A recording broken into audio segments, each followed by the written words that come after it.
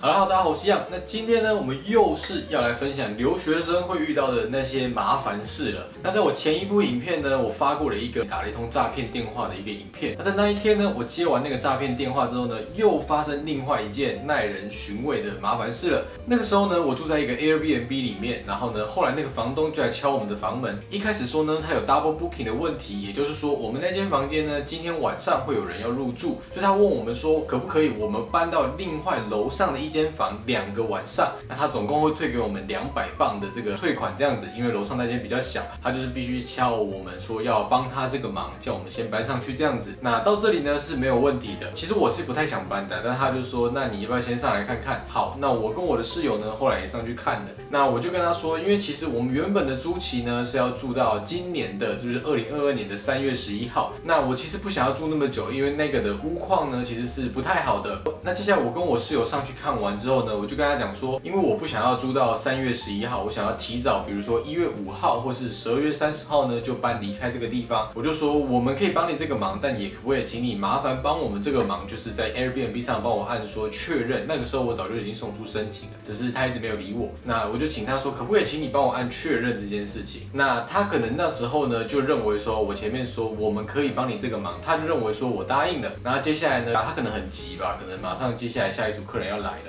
他就很急着呢，把我们的东西赶快啊，开始拿东西，或是找一个他帮忙换被单的那个人来，然后想要进到我们房间里面这样子。然后我就一直跟他讲说，不是啊，你还没回答我说你到底可不可以这件事情。后来讲到他其实也有一点生气，就是有一点。老玩灯的状态啦，就是开始生气说啊，你这个就是我们可以晚点再讲啊，或干嘛？他甚至更没有礼貌的是，因为我那个时候室友是一个女生，那她不是我的女朋友，她一直说就是我听不懂你在讲什么啊，反正你跟你女朋友讲之后，你女朋友再转告给我，啊总之就是态度的有点不太好这样子。那后来呢，我那个时候就暂且先停止动作，我开始思考说我要怎么做下一步解决这个问题会比较好。那他那个时候呢，就径自来到我们的房间前面，那那个时候我当然是不做任何动作，我没有要把我的东西。往外搬的状况。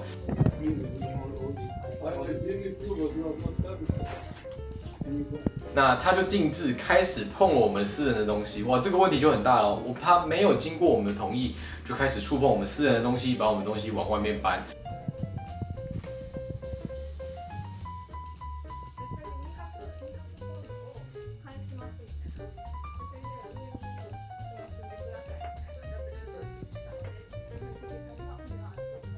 那他跟我们讲说，你不用全部都搬到楼上来，你可以把它放在走廊上。那问题是，放在走廊上，如果东西不见了，那谁要负责？等等的这种问题，我们都还没有讨论之后，他们直接这样放就走了。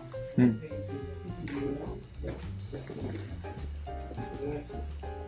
嗯，应该要叫警察。他就开始一直把一直把东西往外搬。那那个时候我就想说，因为他也是一个老年人嘛，你看他的这个画面就知道说他这个人的行动可能比较有点问题。那我如果呢跟他起冲突，他如果受伤了或是他跌倒了发生什么事情，那岂不是我要负责吗？我后来想了想之后呢，我就走到了房间里面，就开始了你刚刚看到的这段录影。我就想说，我先不要做任何动作，就是先录影存证。有录影对双方来说都是比较好的选项嘛，就是都有一个保障在。那我就先录影了。所以我跟大家说，不只是我们这种 YouTuber，YouTuber 比较常看到什么事都录影嘛。那请大家也记得，如果你遇到什么觉得有一点不对的事情，就先录音，先录影，绝对是对你自己比较有保障的。好，那我继续讲呢。接下来呢，我就想说，因为我必须要拿到证据嘛，就是他做不该做的事情的证据。但是呢，等到他把走廊上的东西都搬完之后呢，我接下来就会挡在客厅的门前，就是不让他进去我们的客厅继续搬东西。那也会有产生你接下来看到的画面，就是我一直重复的跟他讲说，请他帮我确认，请他帮我按确认。他一直说。他可以，他可以，他会找到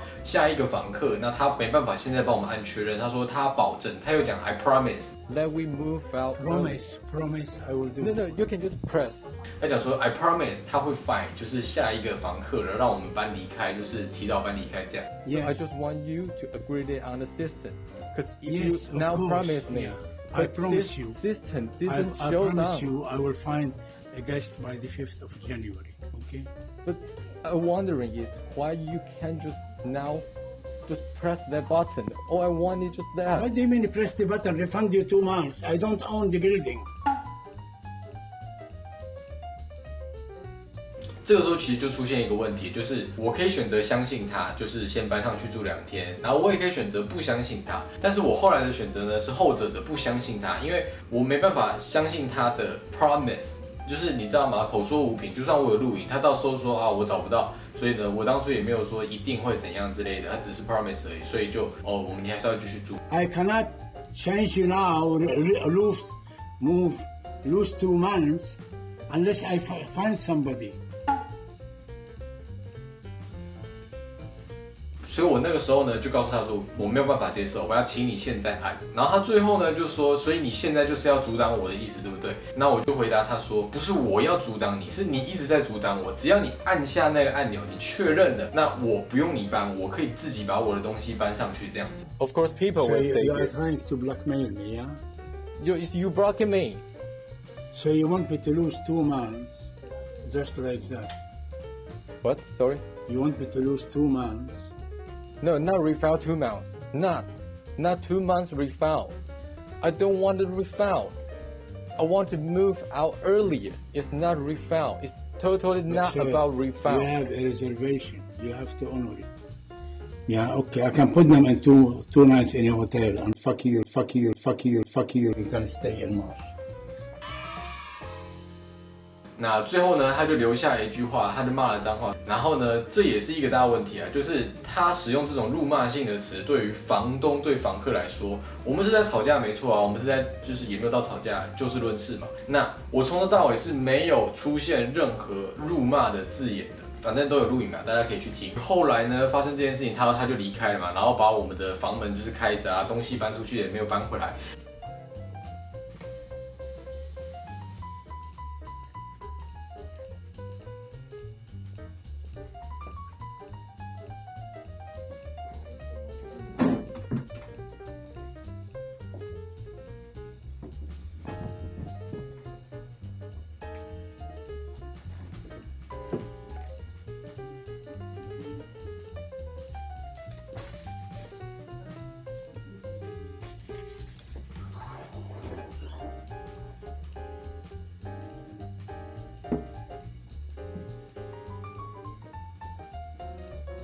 那我就把这一切都录完影之后呢，那我再把东西搬回来。那那个时候我是怎么处理这件事情的呢？我觉得那个时候说不定其实是一个很好的转机，因为我录到了嘛，这个就是可以说把柄，可以说他的不做出不应该事情的这个瞬间。所以呢，我当下马上，其实我有想说要不要报警，就是 Airbnb 有一个紧急处理的嘛，那我在想要不要报警。可是我在想说那一天其实已经大概下午三四点，如果我报警，假设好了，真的我可以马上搬离开那个地方，我也没办法马上找到下家，就是变成是说我必须要拖着这么多的行李，跟我的室友两个人可能会流落街头，我们也不知道今晚要住哪之类的，所以我当下选择我不去做报警这件事情，因为我评估说当下房东也是因为他老人了，应该不会对我们产生什么立即性的危险，所以呢，我就拿一些货物啊或是椅子之类的把我们的大门挡住，确保我们是在这个房间内是安全的。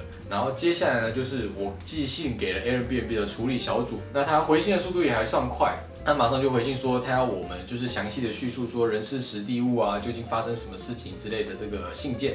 那接下来呢，当然我就传送出我的解释嘛，我很详细的把它写过一遍。然后，但是这就出现一个蛮有趣的事情，就是他一直不回复我，我也不知道他到底有没有收到我的东西。然后分别有两个不同名字的 Airbnb 的人都传给我了这个同样的 email，所以呢，我就把两个人都记了一遍。然后后来在我的 Airbnb 讯息上，我也传了好几遍。那蛮有趣的事情是在 A P P 上传讯息，基本上他完全没有回复我啊。隔了一天之后就直接说你的案件受受理已经结束了，就到这边。但是他完完全全没有回复我任何一句话。然后后来呢，约莫大概过了五天还是一个礼拜吧，然后他再回信给我说，就是他们正在调查这件事情。然后他的一个问题，当初问的有一个问我是说，你想要怎么解决这件事情？那我就说我想要我们只住到十二月三十号，然后呢，在十二月三十号我没有住的日子呢，我要求全额退退款。就是我有住的日子，我当然付钱嘛。那我没有住的日子，我要求全额退款，然后我也就只住到三十号这样子。那他就答应了我这个请求。后来我们就搬出来了，然后这样沿路大概传了三四次吧，然后直到前几天才终于传给我一个讯息，说他们调查完成了，然后如果我有其他的，呃，就是他们已经做出惩处了，但是他并没有跟我讲说他做出了什么惩处，他只有说就是这个案件就到这边了，如果有什么问题再跟他联络这样子。那我也是完全不知道他做了对房东做了什么惩处，但是我们会互相给房东评价，房东也会给我评价。那房东说我提出了不真实的指控，我提出了虚假的指控。然后说就是害他的所有房源，就是他租的房子不止一间嘛，他的所有房源在 Airbnb 上被暂停了。那当然啦，他当然是说是虚假的，但大家看影片的，我说的东西基本上都是真的吧？就是他的确没有经过我们同意就碰我们的东西，然后也骂出了。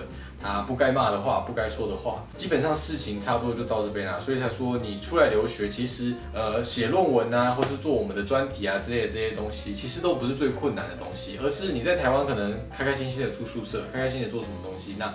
基本上比较不会遇到类似这样的问题，也不会像我们一样在疫情期间还要做 PCR，一直拿东西一直捅鼻子，一直捅鼻子，然后做检测，然后从台湾一个安全的地方跑到英国这样每天十几万确诊，甚至二十万确诊的地方，基本上就是跟大家分享说留学会遇到的这些事情。那我的频道呢，主要会分享艺术设计相关的，以及留学生我的留学生活。那如果你喜欢我的影片呢，也别忘了帮我点个喜欢，也可以订阅我的频道哦。那我们就下次见啦，拜拜。